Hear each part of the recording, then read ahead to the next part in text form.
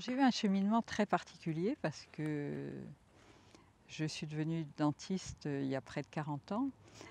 Et très vite, alors que j'étais passionnée pour euh, expérimenter tout ce que j'avais pu apprendre, j'avais un cabinet très important, je me suis aperçue que la médecine qu'on m'avait enseignée ne me permettait pas de maintenir les bouches de mes patients dans un bon équilibre, qu'on arrivait toujours après les problèmes et qu'on n'arrivait pas à les anticiper. Et comme j'avais personnellement dans mon cheminement une dynamique qui amenait chez moi une conscience que le corps est naturellement sain SAIN et SAINT, il y avait quelque chose qui n'était pas cohérent. Et cette dynamique m'a obligée à chercher, à vendre d'abord mon cabinet, reprendre des études de médecine où je me suis aperçue que c'était la même chose parce qu'on n'a pas en médecine le référentiel de ce que c'est qu'un corps en santé, parce qu'on n'a pas compris quelle était la physiologie, tant de la physiologie de l'alimentation, adaptée pour le corps humain, que la physiologie de la structure. Et tant qu'on n'a pas compris ça, eh bien, on est toujours à aller à peu près à trouver un équilibre. Et qu'est-ce qui m'avait donné euh, cette conscience? Eh bien, il s'est passé juste avant la fin de mes études dentaires un événement important. J'ai, pour avoir un enfant, changé d'alimentation. Je me suis mis à manger une alimentation vivante avec des fruits et des légumes et qui m'a permis d'accoucher dans la joie et le plaisir, sans douleur, avec un effort physique intense, mais sans aucune douleur. Et ça, ça inscrit en moi un référentiel qui était très important, que le corps, quand on lui donne les bons éléments, a un équilibre naturel qui fonctionne.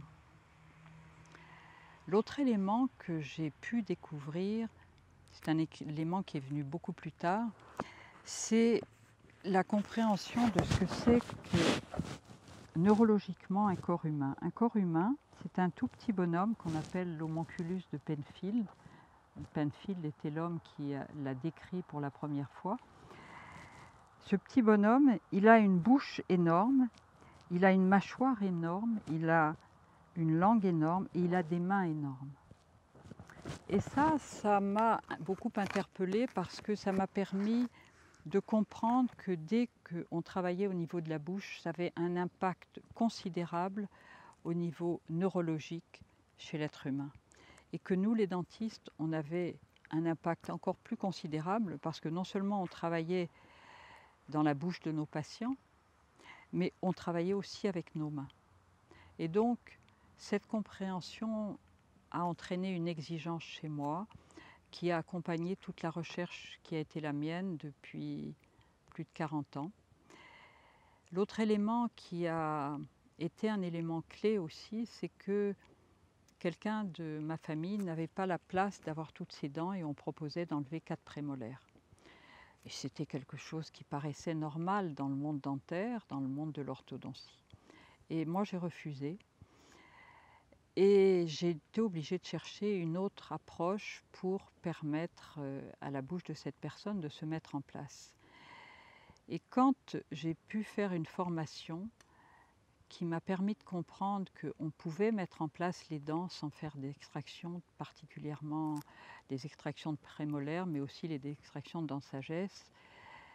Le jour où j'ai compris ça, je ne pouvais pas ne pas le mettre en place dans mon cabinet, même si ça m'a obligé à remettre en cause tout ce que j'avais appris. L'orthodontie, je ne souhaitais pas particulièrement en faire.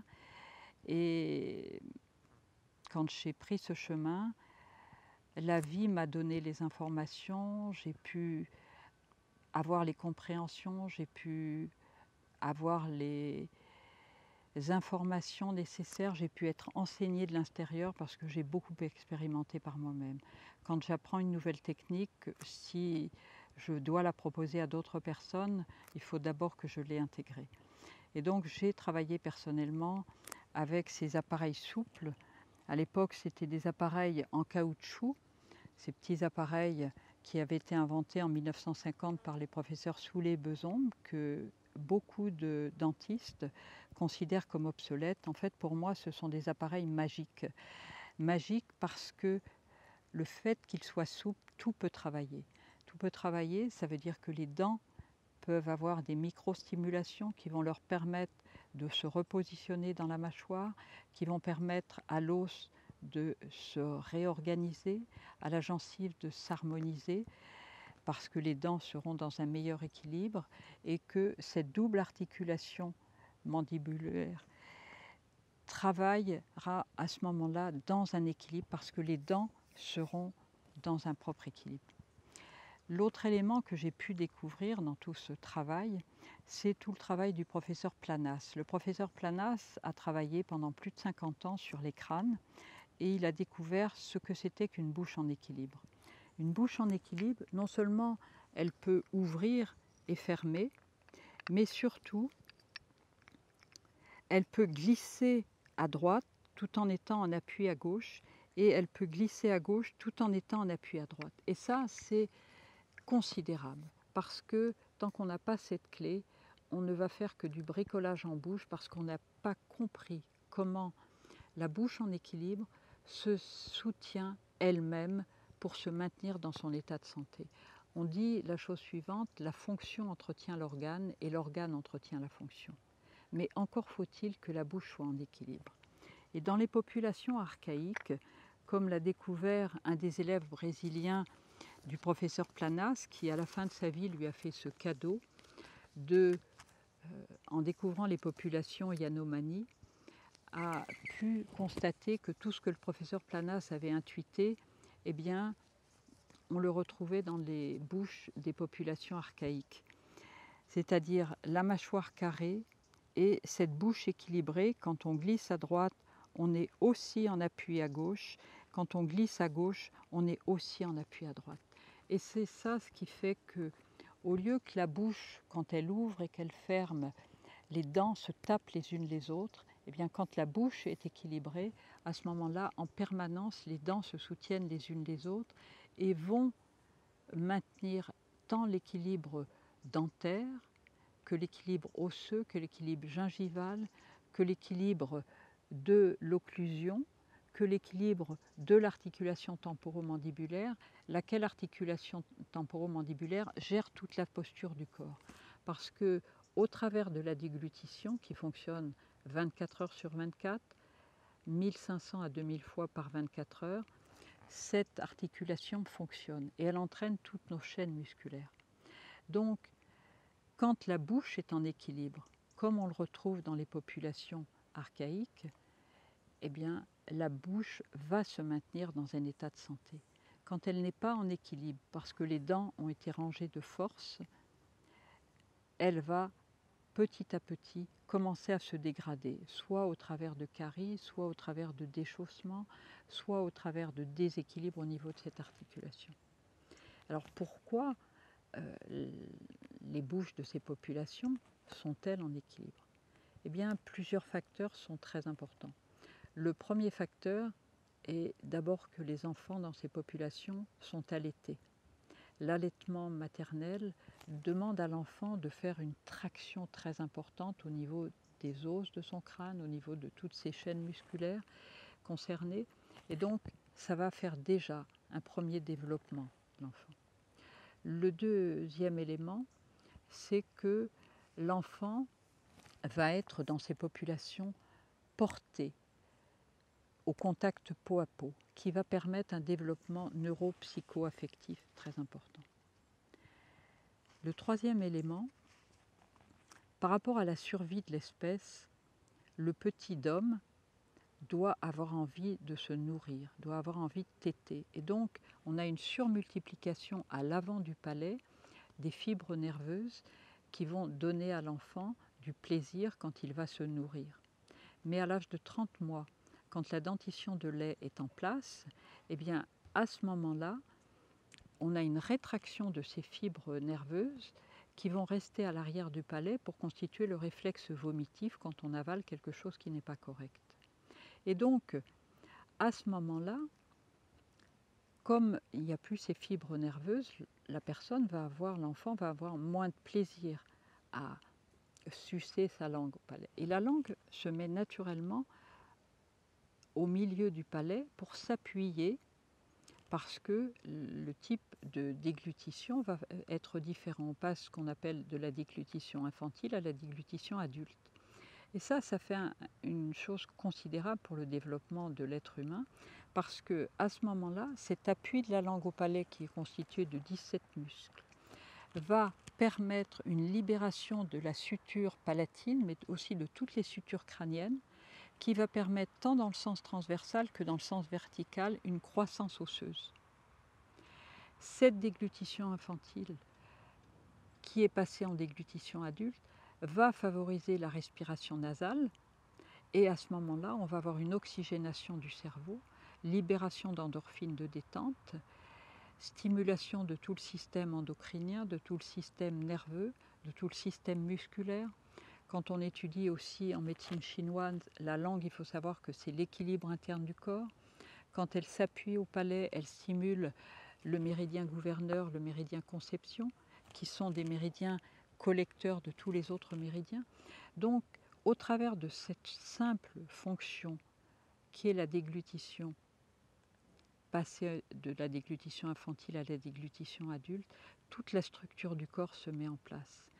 Et si on veut ranger des dents, alors que ces fonctions neurovégétatives que sont la déglutition adulte, la respiration nasale, la mastication et la phonation ne sont pas en place, c'est mettre la charrue avant les bœufs.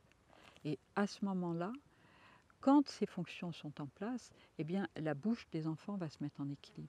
Si par hasard la dimension verticale n'est pas suffisante, et eh bien à ce moment-là, il suffit juste de faire des petits collages sur les dents de lait, sur les dents qu'on appelle les 74, 75, 84, 85, et tout de suite une bouche qui fonctionne, qu'on appelle en charnière, ouverture-fermeture, mais qui ne sait pas glisser, va retrouver sa fonctionnalité de pouvoir glisser à droite et à gauche, et à ce moment-là, l'enfant va retrouver une croissance normale.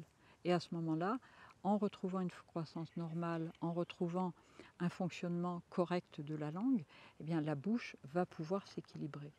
Alors, on est aidé aussi en ça avec ces appareils qui ont été donc inventés en France en 1950 par les professeurs Soulet et Besombe, qui avaient cherché à mettre en place des appareils souples pour que les enfants ne les cassent pas. Et quand ils ont revu les enfants à la fin des vacances, ils ont été étonnés de l'ampleur des résultats qui dépassaient de beaucoup ce qu'ils avaient espéré. Et ils ont réalisé que en fait, ces appareils, du fait de l'écran buccal qui se mettait en place, eh bien, même chez un enfant qui était en respiration buccale, c'est-à-dire qui n'avait pas son cerveau oxygéné, à ce moment-là, l'enfant retrouvait une respiration correcte, une respiration nasale, et une déglutition, commençait à pouvoir rééquilibrer une déglutition adulte. Et à ce moment-là, même un enfant qui était en déficit de, sa, de ses fonctions neurovégétatives pouvait rétablir un fonctionnement normal. Il faut savoir que 70% des adultes sont toujours en respiration buccale, donc ça veut dire qu'ils n'ont pas un cerveau oxygéné, ils sont en déficit de détente, et ici, cette articulation est un lieu d'engrammement du stress. Donc, c'est quelque chose de capital de permettre aux gens de rétablir ces fonctions neurovégétatives. Au niveau dentaire, c'est vrai que quand la bouche est équilibrée, en permanence, les dents se travaillent d'une façon harmonieuse, c'est-à-dire qu'au lieu d'avoir des chocs quand l'occlusion se met en place, le contact entre la mâchoire du haut et la mâchoire du bas au travers des dents se fait, eh bien l'ensemble des dents se soutient. Et donc, il n'y a pas des chocs plus sur une dent que sur une autre. Donc, automatiquement, l'état des gencives est correct et l'os va en permanence se renouveler dans son fonctionnement parce que l'os n'existe que parce qu'il est stimulé. S'il n'y a pas assez de stimulation, il va se résorber. S'il y a trop de stimulation, il va aussi se résorber. Donc, alors que quand il y a une stimulation équilibrée, eh bien, en permanence, il y a un jeu d'apposition et de résorption qui se fait. les articulations aussi fonctionnent d'une façon équilibrée. Et toutes nos chaînes musculaires fonctionnent d'une façon équilibrée. Et beaucoup de problèmes de migraine, des problèmes euh, de tension au niveau musculaire, des problèmes euh, de stress, des problèmes de dépression euh, s'harmonisent avec ça. C'est pas le seul facteur, c'est clair que l'alimentation joue aussi un rôle, un rôle important. Mais euh, il faut vraiment prendre en compte comment la structure naturelle de l'être humain qui est basée sur cette articulation double qui fonctionne 24 heures sur 24 entraîne un changement considérable dans l'état de bien-être de l'être humain. Alors, dans ce qui est venu pour moi, l'exercice que j'ai appris à mes patients et que je peux enseigner, que je vous partagerai, que n'importe qui peut faire même sans gouttière, c'est l'état de fonctionnement normal de l'être humain. Après, c'est clair qu'il euh, y a des bouches où il y a la nécessité d'être accompagné par un praticien qui ait cette euh, compréhension. Mais en fait, tous les praticiens peuvent l'avoir. Par contre, on ne l'a pas eu dans nos études à la base. C'est une recherche, c'est une démarche personnelle qui nous amène à un cheminement, à une compréhension différente. C'est clair. Mais n'importe qui peut en bénéficier, même les personnes qui auraient des appareils, des personnes qui auraient des appareils complets par exemple, ça veut dire que leur bouche n'était pas fonctionnelle, sinon ils auraient gardé leurs dents. Et donc, de travailler avec ces, ces petits appareils, avec ces gouttières, c'est vrai que ça leur permet de réoxygéner leur cerveau. Beaucoup de problèmes d'apnée du sommeil, des problèmes de bruxisme peuvent vraiment être améliorés d'une façon considérable avec cet exercice et avec le port de gouttières souples qui sont maintenant dans un matériau différent, qui sont en stamilène, qui sont plus confortables. Et il y a des expérimentations maintenant dans les services hospitaliers où avec euh, ce port de l'appareil, on arrive à réduire considérablement et pratiquement voir disparaître les apnées du sommeil. Il y a un organisme, l'organisme qui diffuse ces appareils qui ne sont vendus qu'aux dentistes, euh, fait des formations en France et aussi à l'étranger. Moi, j'ai formé des dentistes en Italie. C'est pas venu en France, mais s'il y a des dentistes qui veulent se former, moi je suis tout à fait ouverte parce que c'est vrai que j'ai beaucoup expérimenté pendant près d'une vingtaine d'années et je continue à expérimenter parce que pour moi je trouve que c'est un travail génial et que ça évite dans un certain nombre de circonstances d'engrammer le stress de la vie quotidienne. Par exemple, si vous faites un long trajet en voiture, de pouvoir porter une gouttière, ça évite la fatigue du corps qui a une certaine tension. Si vous avez eu du stress dans la journée, le fait de mettre une gouttière la nuit, ça permet de, que le corps puisse se relâcher et avoir une meilleure qualité de sommeil. Moi, ce que j'ai constaté, par exemple, avec les enfants avec qui j'ai travaillé, ils avaient une euh, différence complète dans leur façon de euh, vivre ils avaient une meilleure qualité de sommeil, les problèmes de cauchemar disparaissent, ils ont une meilleure euh, attention en classe parce que leur euh, système fonctionne correctement. De, demander à quelqu'un de, de, fonctionner en respiration buccale, c'est comme si vous lui demandez euh, de courir un marathon alors qu'il est cul de jatte. C'est vraiment de cet ordre-là la personne est en asphyxie permanente. C'est un stress considérable dont on ne se rend pas compte. Et même les professionnels de santé euh, n'ont pas pris en compte l'importance de l'équilibre buccal dans notre corps. Pour moi, il y a deux volets qui sont très très importants. C'est l'équilibre, la physiologie de la structure du corps et la physiologie de l'alimentation. L'alimentation physiologique nous donne un état naturel de bien-être, un état de tranquillité au niveau du cerveau qui peut aller se connecter euh, sur les plans subtils, recevoir les informations. Alors que quand on a une fatigue du corps parce qu'on a l'alimentation qui est inadaptée, automatiquement euh, le cerveau ne peut pas être disponible à recevoir les informations qui lui parviennent en permanence. Pour moi, la physiologie de l'être humain, qu'elle soit structurelle ou qu'elle soit alimentaire, permet à l'être humain de fonctionner avec toutes ses capacités. Et quand on n'a pas ces clés, ben, on est un amputé quelque part.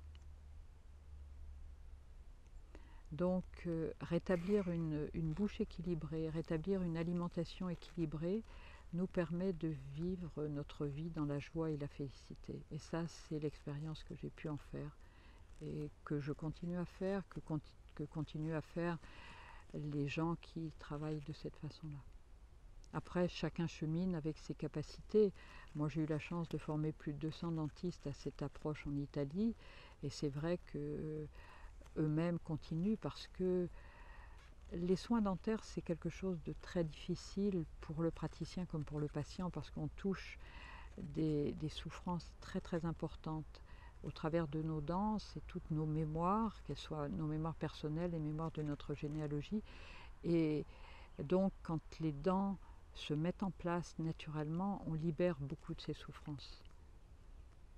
Et de la même façon que quand on a une alimentation physiologique, eh bien le corps va fonctionner à l'optimum et beaucoup de nos petits maux quotidiens, euh, je pense en particulier tous ces gens qui souffrent avec la chaleur, quand on mange une alimentation physiologique, le corps n'est pas dans cette difficulté. Il fonctionne d'une façon euh, tout à fait différente. Il y a une écologie du système qui fonctionne naturellement. Eh bien, dans la bouche équilibrée, c'est la même chose. Oui, j'aurais envie de dire, euh, prenez votre santé en main, prenez la responsabilité.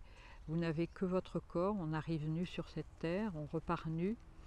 Et plus on va vivre en harmonie avec ce corps qui nous est donné, le temps d'une incarnation, plus on peut vivre notre vie dans la joie et la félicité.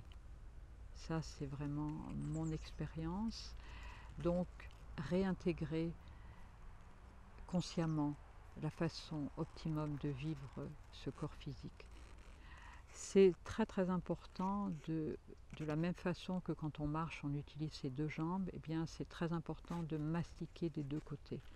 Si on ne mange en utilisant qu'un seul côté, on va avoir des déficits tant au niveau de la bouche qu'au niveau de l'os, qu'au niveau des dents, qu'au niveau neurologique. Toutes les découvertes récentes en neurophysiologie, comme l'a fait le professeur de Sico, ont montré que c'était une porte ouverte aux maladies d'Alzheimer que de mastiquer que d'un seul côté. Donc il est capital quand on mange d'utiliser les deux côtés.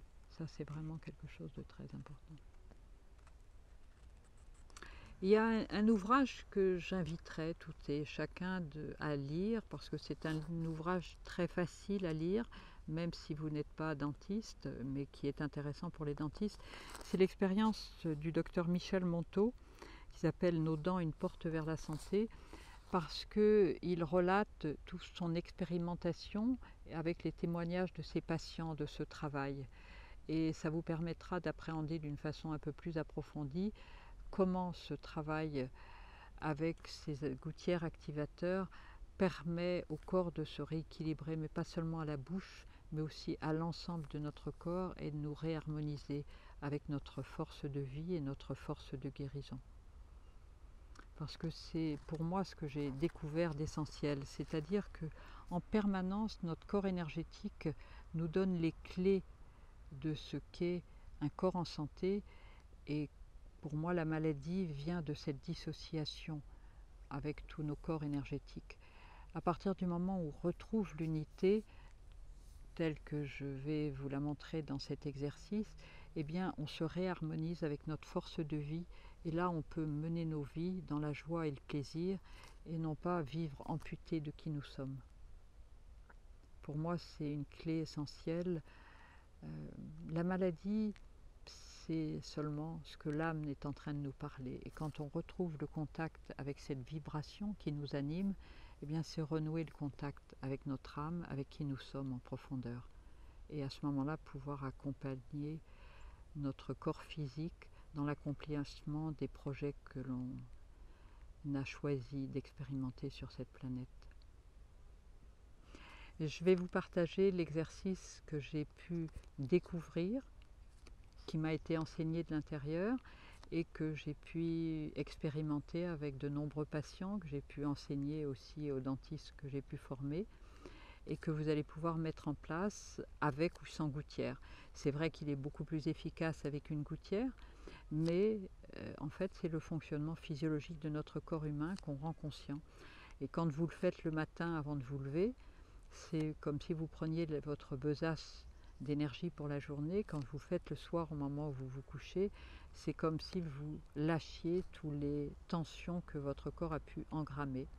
Donc à chacun de le mettre en place dans sa vie et si vous pouvez vous procurer auprès de dentistes des gouttières parce que ces gouttières ne sont vendues qu'à des dentistes, eh bien ça vous permettra d'amplifier ce travail et puis après si vous avez envie de pouvoir cheminer à des niveaux plus importants mais l'exercice est opérationnel en soi. Ferme les yeux. On inspire. On expire par le nez. On inspire. On expire par le nez. On inspire. On expire par le nez.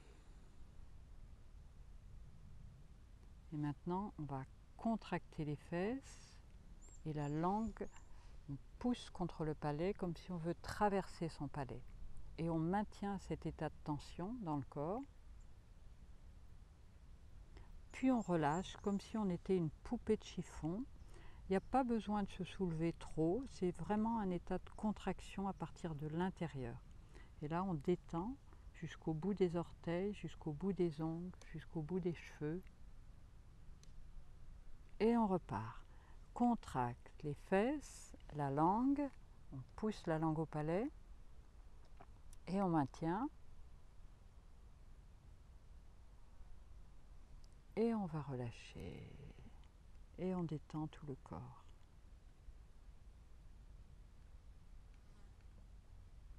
Et on repart. Contracte les fesses, la langue.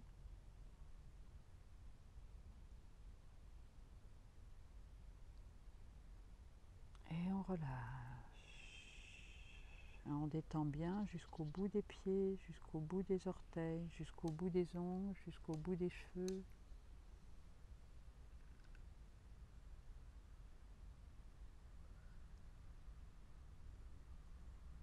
Et on repart. Contracte les fesses, la langue.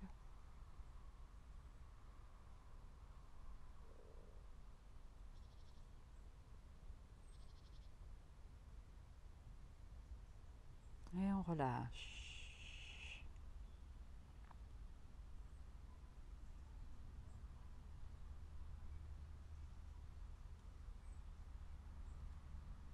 Contracte les fesses, la langue.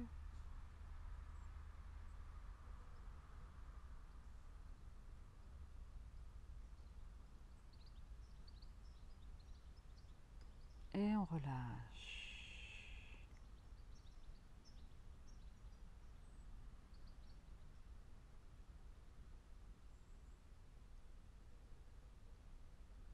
Contracte.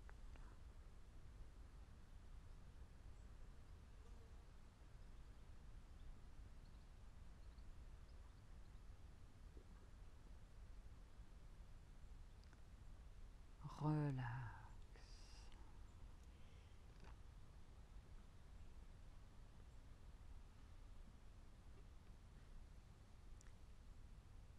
Contracte.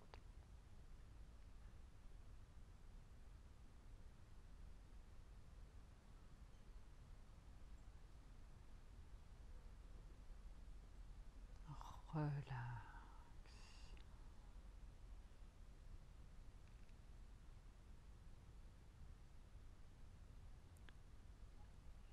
Contracte.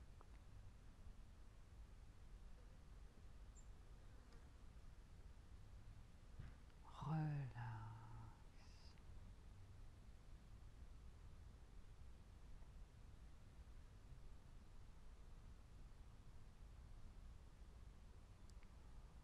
Contracte.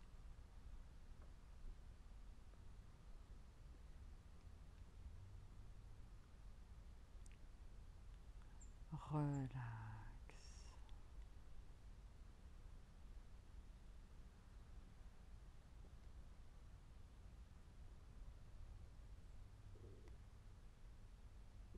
Contracte.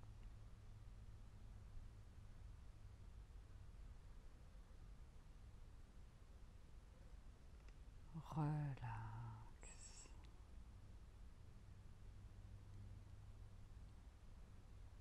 Dernière fois. Contracte.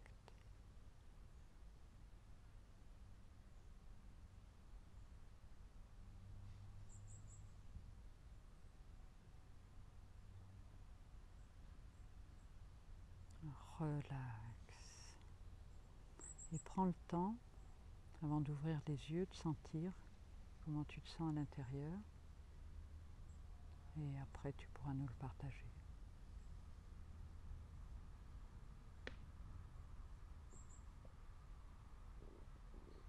Quand tu voudras, tu peux ouvrir les yeux.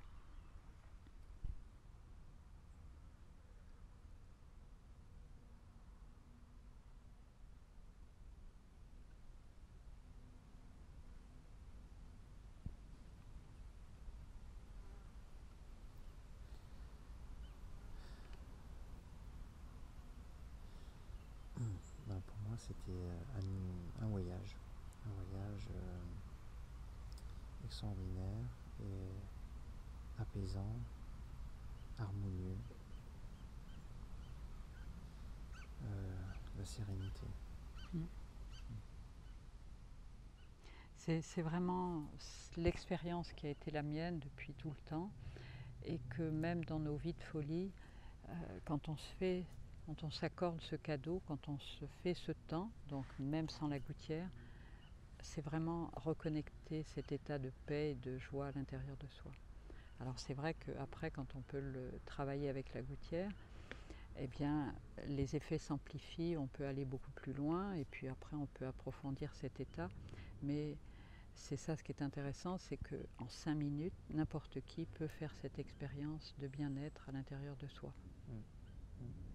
Et c'est ça ce que je trouve intéressant et puis ce que j'ai vu avec beaucoup de patients, ce que j'ai constaté avec toi aussi. Et on voit comment le visage des gens change parce que ben, lâchent beaucoup de tension au travers de cet exercice. Et en fait, c'est le fonctionnement normal de notre corps humain, mais on n'en est pas conscient.